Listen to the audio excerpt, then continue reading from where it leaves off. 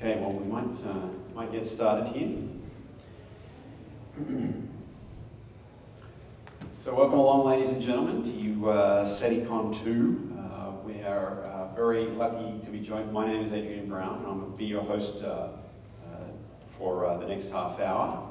We're very lucky to be joined by Jonathan Fay. Jonathan's a software developer at Microsoft Research and a passionate amateur astronomer who's built his own telescope. Uh, you know, observatory. Observatory, excuse me. And uh, I'm sure you'll give us the, uh, the uh, address that we can get to your uh, uh, astronomy building photos and so on that you sent me. Sure. I'll have to plug that in just a second. Uh, so Jonathan develops software for astronomy imaging and visualization for the Microsoft Worldwide Telescope, uh, or WWT, which is now has a user base of uh, 7 million people. And um, hopefully we're going to uh, hear about that during, uh, during our talk. But um, firstly, uh, I, Jonathan, I wanted to, um, to ask you where your passion for astronomy came from in the first place, and, and uh, even before you started working for Microsoft, what, what led you into looking up at the stars? Uh, when I was a, a kid, I don't remember exactly how old I was, but probably around 10 or 10 or 11 or something like that. My aunt brought me, bought me a, um, what would I uh, now consider junk, a department store telescope. Uh, and it was one of these, uh, I think about a two and a half inch refractor with a cardboard tube and, uh, you know, 2,000 power or something like that, which of course is ridiculous uh, with, you know, diffraction limited optics would never let it even approach, you know, 100 power, much less uh, that. But, but still, it inspired me to look up and look at the stars. And um, I, I, think, uh, too, one of the things that Im impacted me was um, I would, uh, uh, we would often go to the High Sierras and we had the station wagon and my brother and I would sit in the back of the station wagon and the tilt of the window uh, driving down US 395 up to uh, um, the High Sierras, we would just see these unbelievably gorgeous star-filled nights on these dark roads driving at night.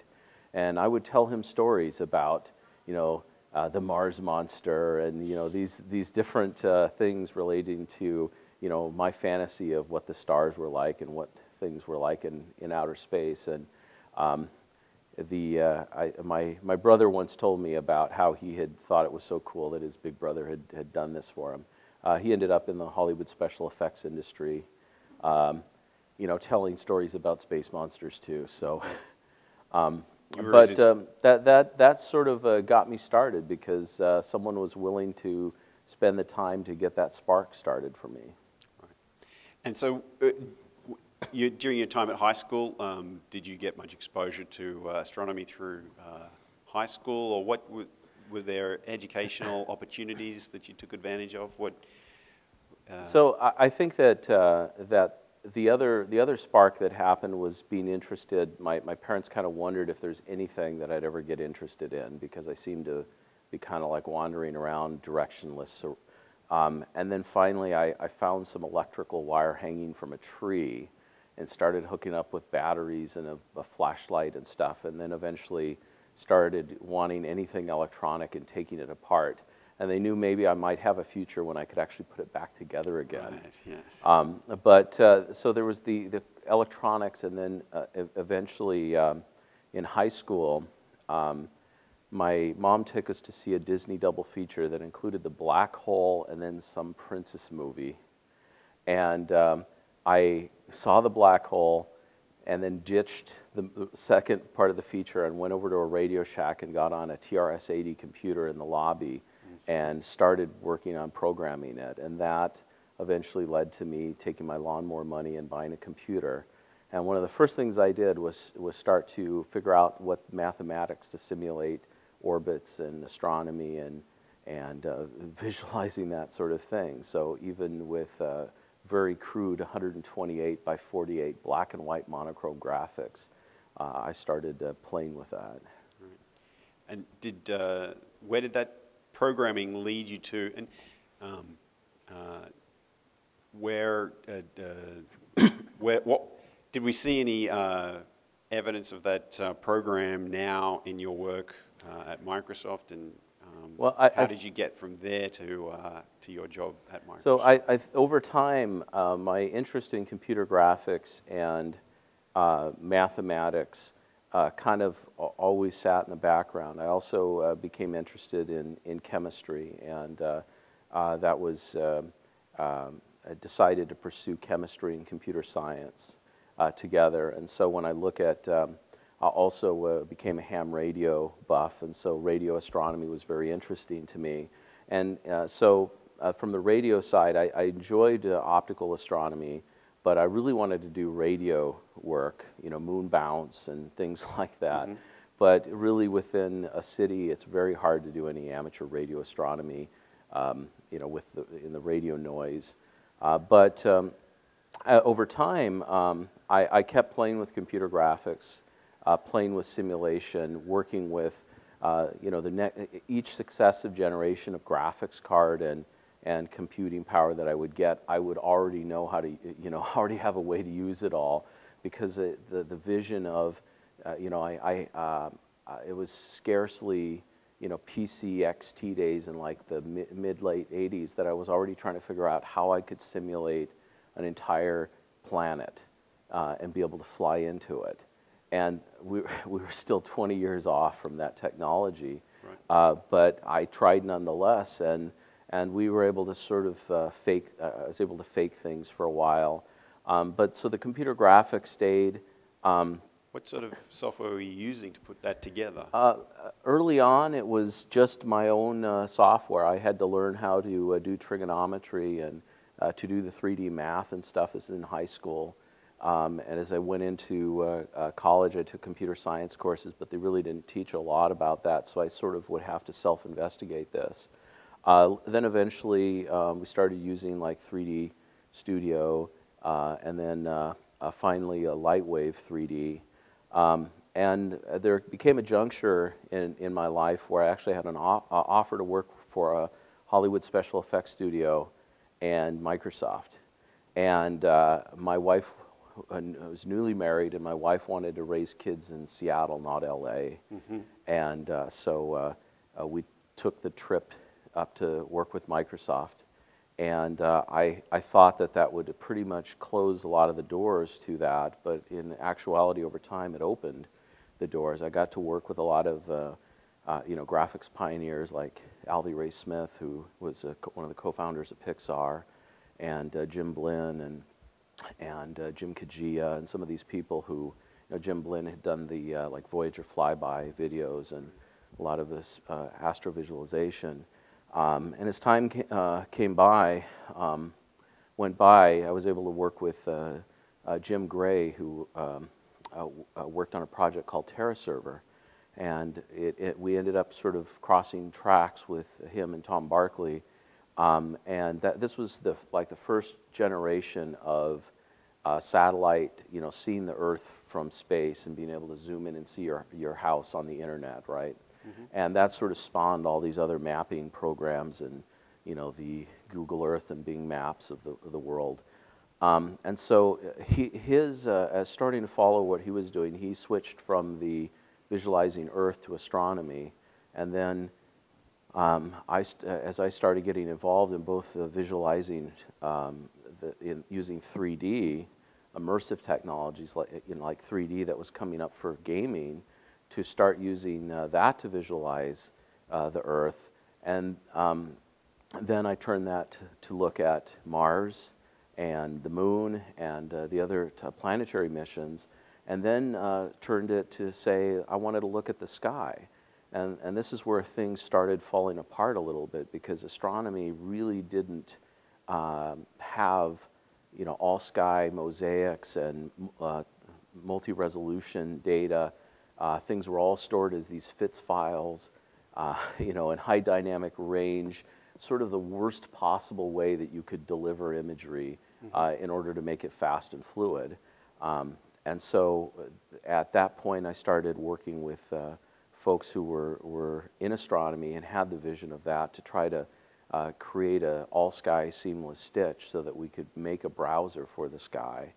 Um, and that, uh, over time, exploded into uh, multi-wavelengths and um, uh, then a 3D universe browser, and uh, then uh, uh, with Curtis Wong, who was my boss at Microsoft Research, had always had, wanted to build a, an astronomy storytelling engine. And so when we got together on this, along with Jim Gray, um, it, it just seemed like this was this, this cool vehicle of taking this 3D technology and the storytelling engine we wanted to build. And uh, then Jim unfortunately disappeared in a, in a boating accident, we, we assume. He uh, went out to, to sea and never came back. Um, and we, at that point, it sort of shook everything uh, uh, for us. And we decided that we wanted to do something in his legacy. So we took the name of the paper that he had written with Alex Szalay about the Worldwide Telescope and uh, named the product for that and dedicated it to him and decided we would make this tool that would let astronomy researchers do research with it, but make it freely available to the public and create a storytelling engine that could be used by educators and by researchers to discuss what they knew about the universe and inspire uh, everybody in any generation, like they say, from K to gray. Mm -hmm. So I'm, I'm interested in um, how, uh, how your research was viewed within Microsoft. And I, I think of Microsoft as a, you know, as uh, an operating system company that, you know, has, has, has branched out into gaming and, and all sorts of stuff now. But how does your project get involved, uh, get funded inside of Microsoft, and and, uh, and and what can you give us a little bit of the inside nature into into how you fit into the Microsoft world? So um, Microsoft Research is a sort of an interesting uh, organization since we're one of the uh, larger companies on earth. We can af afford to do a lot of things that uh, smaller companies can't invest in at, at that you know at that scale. And one of the things that we decided uh, in, long ago in Microsoft's history, I wasn't part of that decision, but was decided by uh, higher ups at Microsoft, is that research was something that was that with a company as big as they were growing, fundamental research was very important um, in order to uh, continue uh, to be able to uh, be um, respond to opportunities, to be able to push the state of the art. So, for instance, uh, you know, more than half of the SIGGRAPH papers are, are written by, or a good portion of them are written by Microsoft researchers. I mean, a, a very large uh, chunk of it. Uh, there's so you guys are encouraged to, to exactly. publish So, the, so it's encouraged to publish.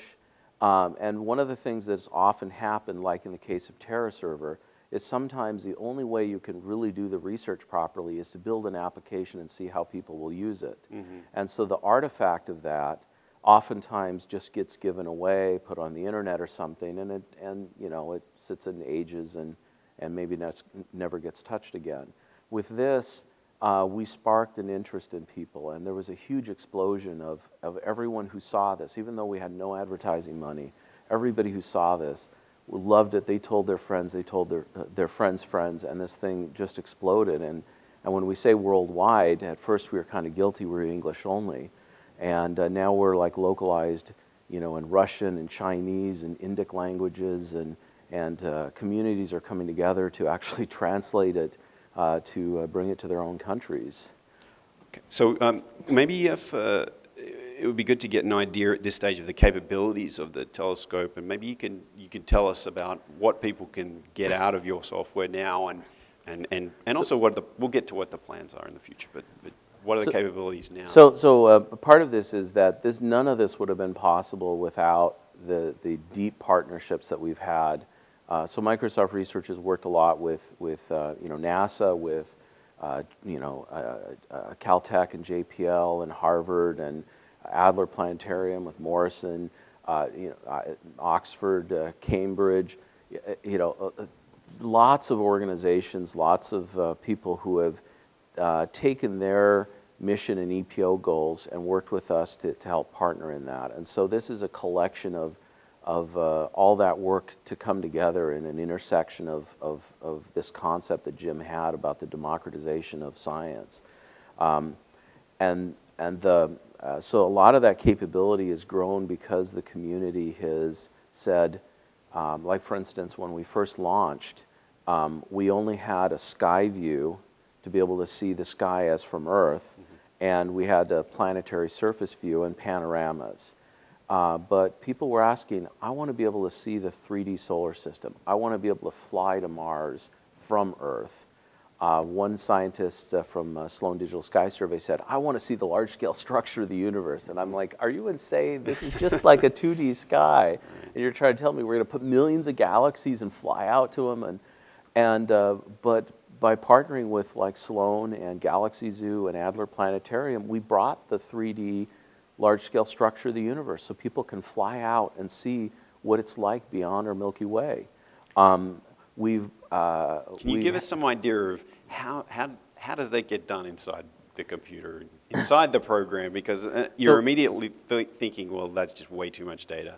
What, how do you handle the complexity of that data? Uh, so uh, I, will, I will state it in like um, Castle Wolfenstein, Doom, mm -hmm. um, Halo, these are the, the, reasons why we can do what we do today with, with computer graphics in, in, this environment. Because what's happened is, is people addicted to these games want more and more and more. And they've created an economy of scale where you can put a supercomputer into a chip that fits on a video card that you can sell for a few hundred dollars that will do teraflops of data um, and that is enabled, uh, like AMD has a new processor for $79. It's one teraflop, 400 cores, plus four or two or four uh, CPU cores.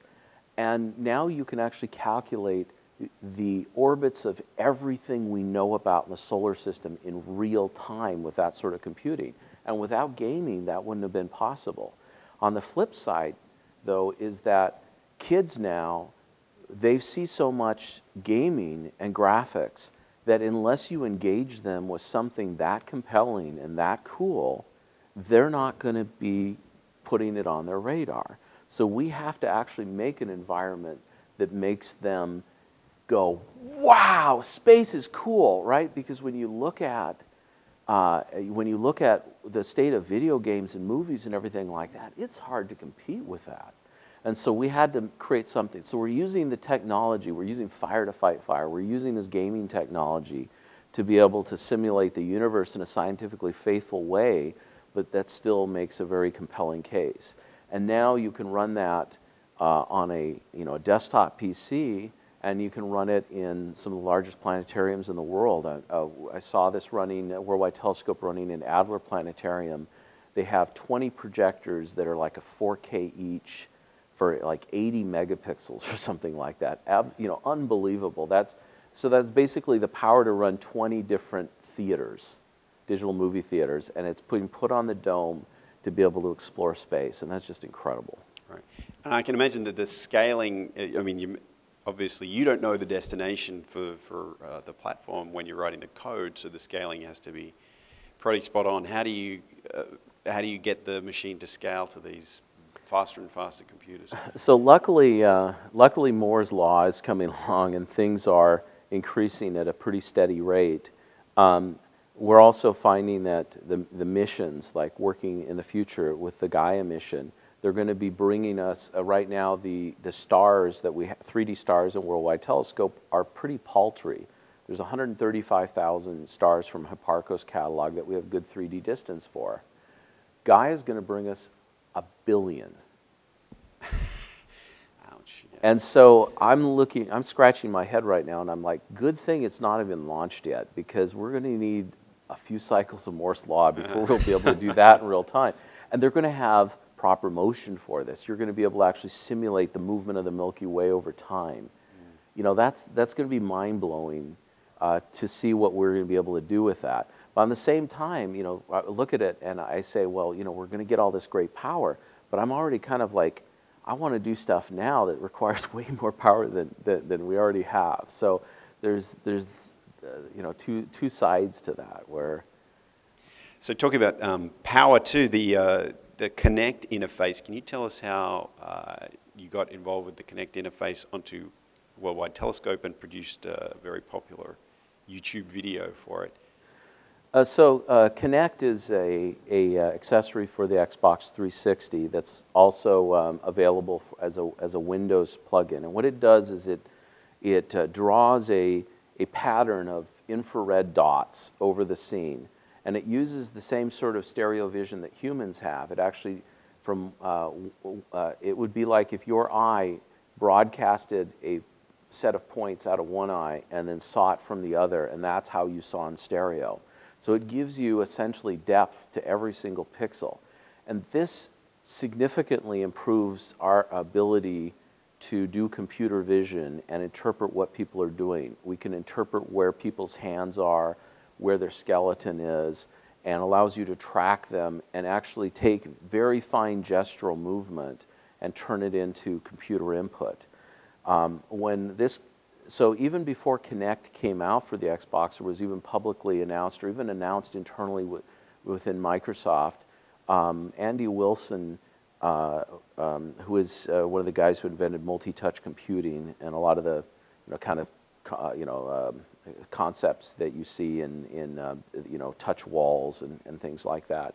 Um, he was work. He wanted to work with uh, a full dome immersive environment and being able to use just your hands uh, instead of touching a wall, being able to make gestures in free space. And so we actually experimented with, with a fisheye lens and being able to actually um, do a multi-touch gesture. So what you would do is you pinch your fingers like this, and that would be a contact point.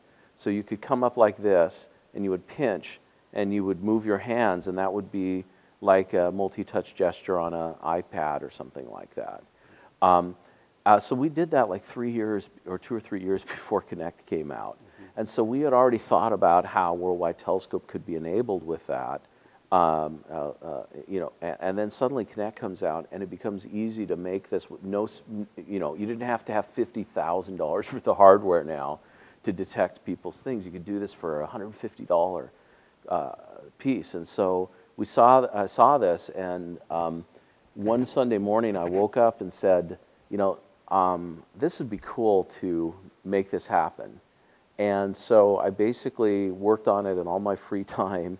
Uh, my family actually hardly noticed that I was ignoring them because I, you know, went out to breakfast and we did did some things and everything. Uh, we actually, you know, worked and so, but but every time I'd get back home, I'd like slide into my office and work on this. And about one in the morning, I, I told my wife, step in front of the TV and do this.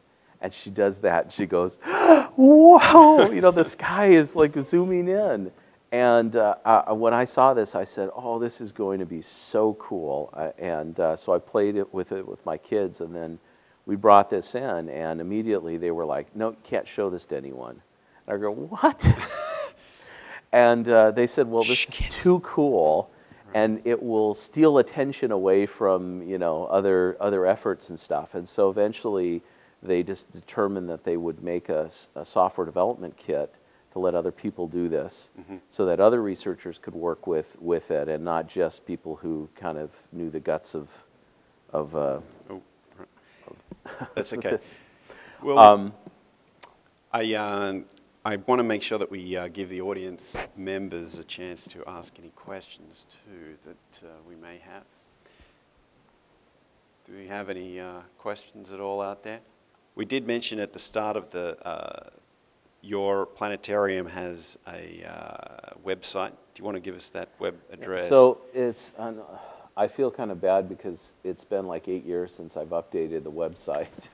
Uh, but um, uh, I, one of the, uh, during the um, uh, time that I was doing a lot with astrophotography I, in Seattle, you don't want to set up a telescope uh, only to have the rain come in or clouds come in. And when you have a 150 pound telescope and all this astronomy gear, uh, it, it really, if you wanted to observe in Seattle, you had to have an observatory. So people say, why would you put an observatory in Seattle? Well, if you're going to observe in Seattle, you got to have one. Mm -hmm. So, uh, but at that point, I, I, I thought it would be very cool to basically learn everything it took to make it happen. So we actually designed I designed the 3D model for it, um, uh, uh, and built a dome, a dome from scratch with the old style split shutter design that looked like Mount Wilson.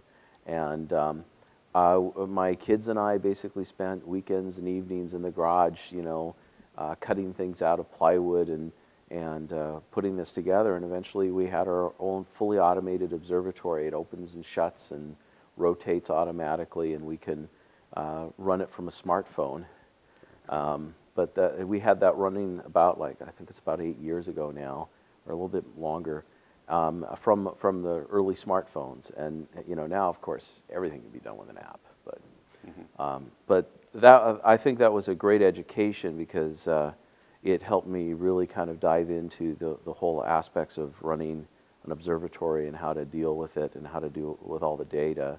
And uh, that kind of really helped prepare me for what we did with the Worldwide Telescope. Right. So what's, what does the future hold for the Worldwide Telescope? What, can you give, any, give us any teasers about uh, uh, how the project's uh, going to proceed from here?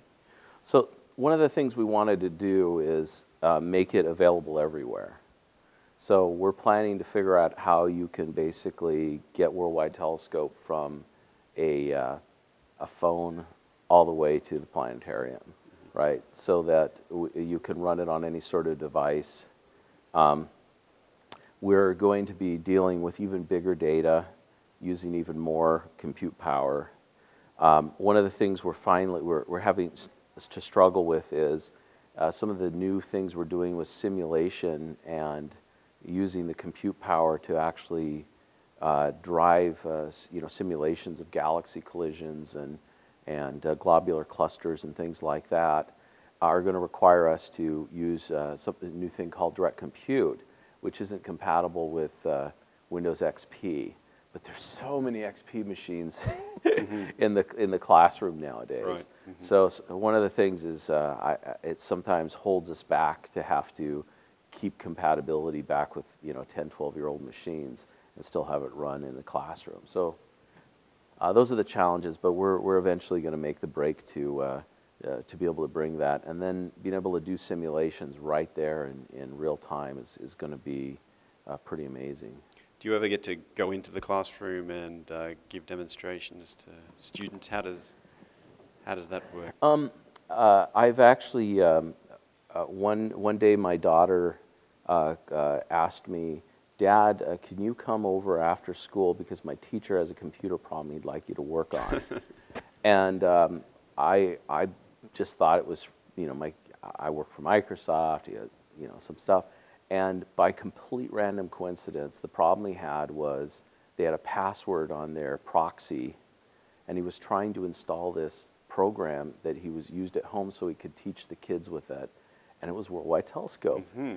And so I set it up and got it working, and he goes, "Wow, you really knew what you're doing on that." and I said, "Well, didn't Joy tell you that? You know, my daughter tell you that this is what I built?" Right. And he was, "No, I didn't know." And so this coincidence that they were using it, and it was kind of delightful because I mean, if I'd engineered the whole thing, then uh, you know you'd kind of expect it, but when it's just happening organically, it was it was kind of cool.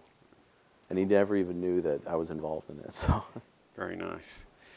Well, um, ladies and gentlemen, I think uh, we're running almost out of time here, so uh, I'll um, give one.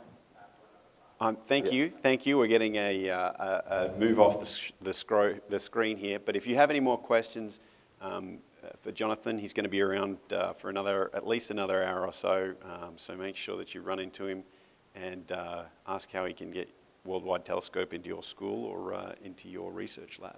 So worldwidetelescope.org, it's absolutely free. And um, if you need to contact me, just use the help uh, contact support and uh, it'll get into my email box.